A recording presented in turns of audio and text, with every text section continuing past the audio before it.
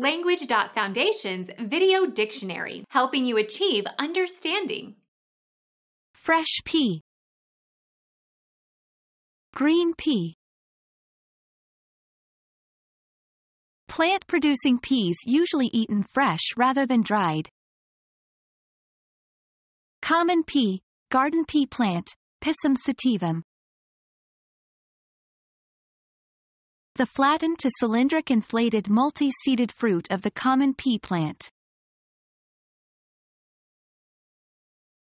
Become our student and get access to effective and free educational materials. Subscribe to our channel to become a part of our growing community and to learn English effectively.